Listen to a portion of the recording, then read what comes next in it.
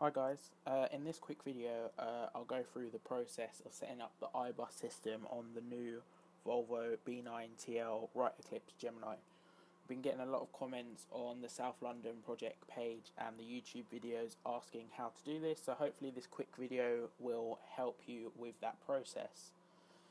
So the first thing that you need to do is set up the ticket machine as normal. So if you're using the default keyboard layout you haven't particularly changed any of the settings this should apply for you. Otherwise you'll need to go by if you've made changes then obviously you'll need to go by the settings that you've made. So first thing to do is set up the route and the destination. So if we switch our power on and then if you press control the plus sign and asterisk on the num section of your keyboard and enter 00300 and press enter.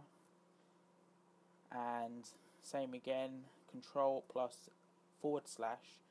And this is where you enter the route variation. So for example we can enter 01 and for the South London project that sets the destination as Kennington Lane.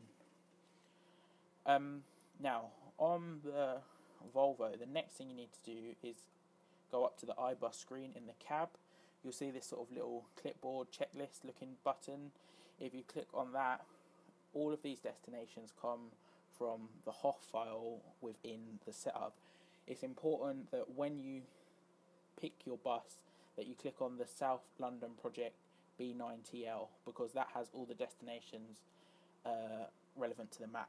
So at the minute we're in the beta stage still so the most uh, relevant destinations for us are going to be those for Route 3. Now, for example, if we say that we're going to Kennington, so we're at Crystal Palace at the moment, we just click, literally go to in line with the destination and click the button that's in line with that. And that's all you need to do. You can then return home. So now, if I open the doors, you'll notice the destination screen changes Three, and you hear the two, announcement. Now, some of you might be getting to this stage with no issues at all.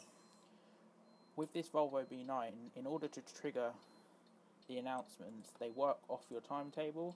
So firstly, it's important to make sure that you've got your timetable set up correctly. So if we just pick this one as an example,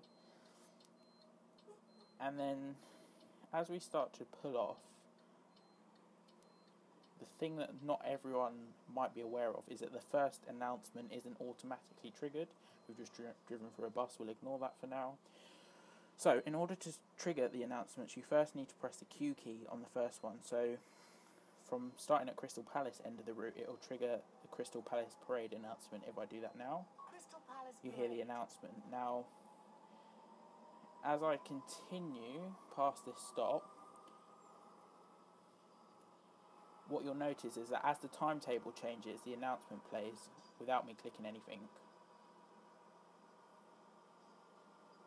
Crystal Palace Parade, College Road. And there you go, you can hear that it's automatically been triggered. And again, if I now pull up to this stop, I've just realised I'm driving without the lights on, but we'll forget about that. And if I stop and open my door, you'll hear the route announcement automatically triggers again. to Kennington Lane. Perfect. So, hopefully, that helps with any of the issues or the queries that you guys have are having with regards to setting up the iBus system. If you do have any additional comments, uh, questions, queries, leave a comment, and where I can, I'll reply to them. But just make sure, please, that you do try and give as much detail as possible so that we can help try and troubleshoot.